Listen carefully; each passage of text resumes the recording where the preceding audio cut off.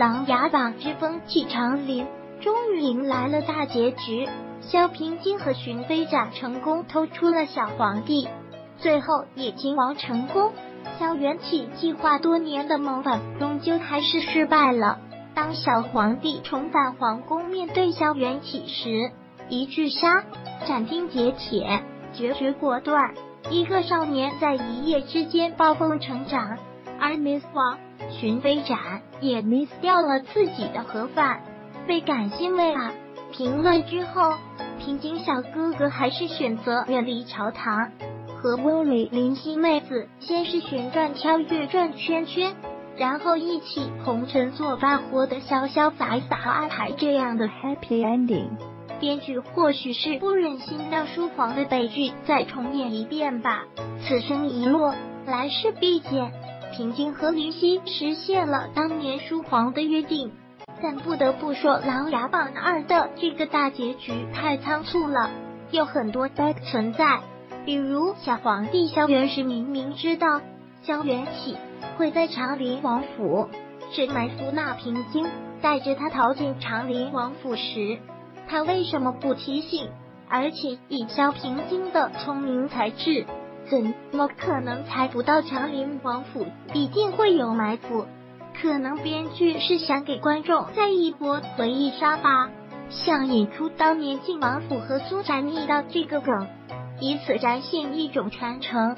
当年齐王亲赐府邸给晋王，晋王将府邸留给了长林王萧庭生，而且明明该是一场很精彩的大战，最后却处理成琅琊榜高手的单打独斗，看着有点不爽，不够尽兴。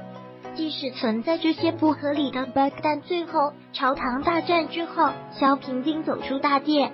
回头的那瞬间的眼神，眼底的苍凉，一下子就让小八入戏。刘昊然用演技撑起了后半段的剧情啊！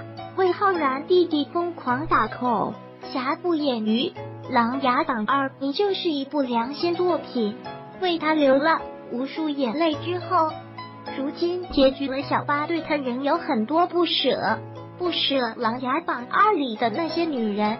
清冷但心中自有抱负的林夕，单纯却深知大义的毛浅雪，身不由己却能守住良知的荀安如，更不舍萧家的那三个男人，不舍萧平章，那个既能在沙场上奋力抗敌，也能在朝堂上游刃有余的长林世子。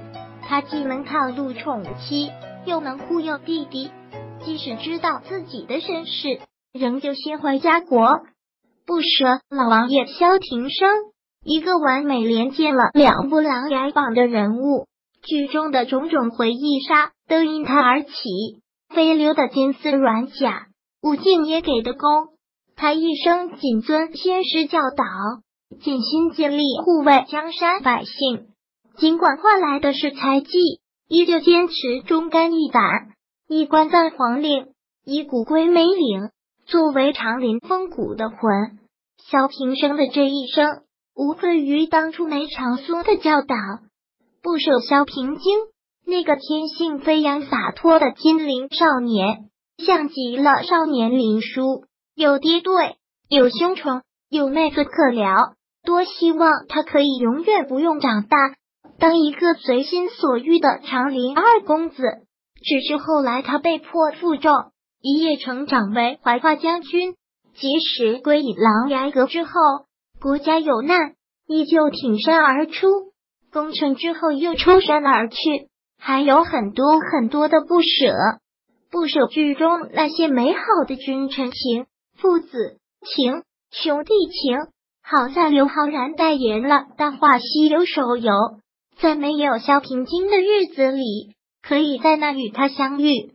从梅长苏到萧平京，从胡歌到刘昊然，大话选择的代言人都是忠肝义胆的形象，十分贴合《大话西游》有情有义有兄弟的口号呢。再过几天就要迎来春节小长假了，与其面对着来自七大姑八大姨的灵魂拷问，倒不如在《大话西游》江湖里快意江湖。